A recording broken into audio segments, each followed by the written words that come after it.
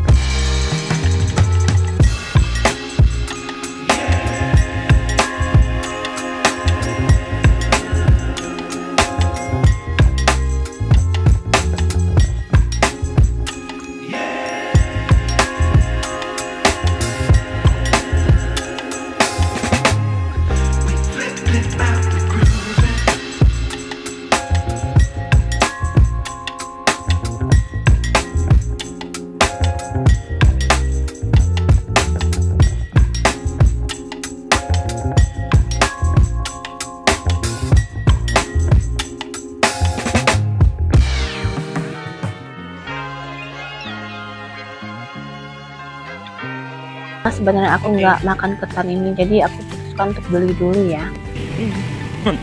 Oke ini kita sudah sampai dan gerimis pun belum mereda ya. Jadi ini Pak Su yang antar kakak ke depan uh, pintu kelas ini Kak Sofi lagi jalan menuju ke kelasnya ya. Itu anak-anak juga sudah mulai ramai ya yang datang. Oke. dapur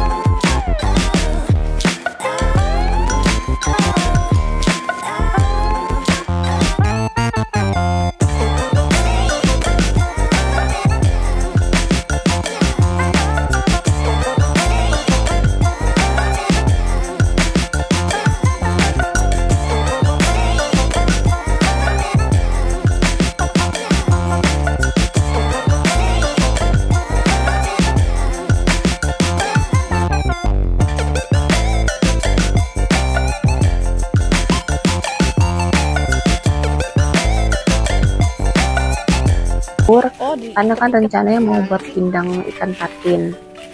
Tahu ada ada tahu. juga kerupuk jange nih. Bude Sayur ini selalu bawa kerupuk jange. dan ini ada plastik ceker ayam. Ini katanya pesanan orang. Ini orangnya mau buat soto ayam. Plus ceker ya. Ini ada tahu putih dan juga ini ada ikan asin ya. Ikan asin bulu apa ya katanya? Ayam bulu apa ya nah ini sudah selesai. Ini cuman beli ikan patin sama bumbu dapur. Tapi aku coba lihat-lihat juga nih apa aja yang Bude Sayur bawa